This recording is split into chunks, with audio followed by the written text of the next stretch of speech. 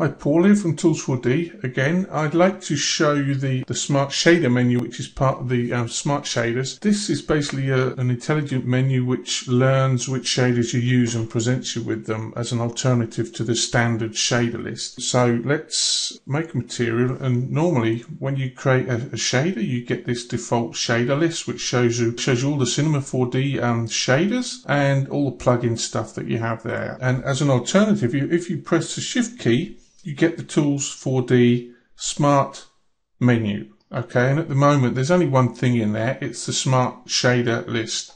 Okay, and you click on that and it opens up the Smart Shader list. So how do we get plugins or shaders into the Smart menu? Well, all you do is you just add stuff that you would normally need, you know, in everyday use. Uh, Fusion, um, obviously you want noise, you probably use a lot of gradient, and then uh, good old checkerboard and then obviously the instant shader and you probably use the um, virtual room shader if you're lucky enough.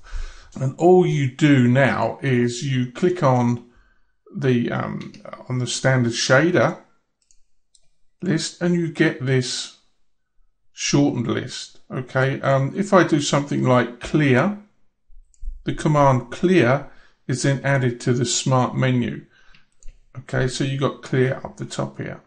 Um, and all the other stuff is gone. You know, if you want to, um, for example, um, if you create a new texture, okay, right, well, create a new texture has now been added to the command um, list. Okay, so basically what you got there is you've got a shortened, personalized uh, shader menu which you can then um, call up with the left, uh, well, any shift key really, um, and that's called the Smart Shader menu, and that's part of the Smart Shaders.